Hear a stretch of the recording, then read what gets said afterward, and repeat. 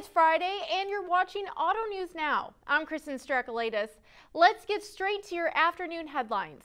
Renault Group is considering selling part of its 43% Nissan stake.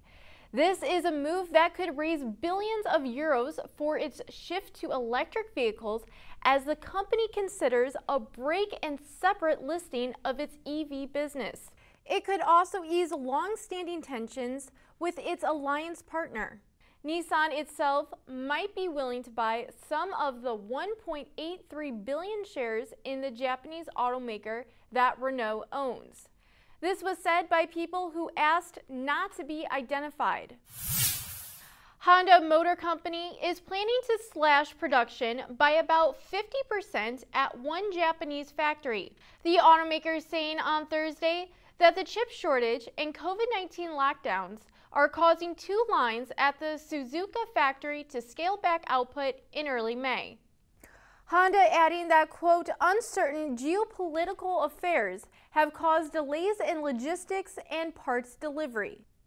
The plant produces components for the Fit N series mini vehicles as well as components to Honda's overseas factories in 27 nations according to the company's site. And to wrap things up, Tesla CEO Elon Musk says he's secured $46.5 billion in funding for a takeover of Twitter. Musk filed with the U.S. Securities and Exchange Commission Thursday. It details $25.5 billion in debt financing from Morgan Stanley and other financial institutions. More than two thirds of that is either coming from his own pocket or borrowing against his Tesla shares.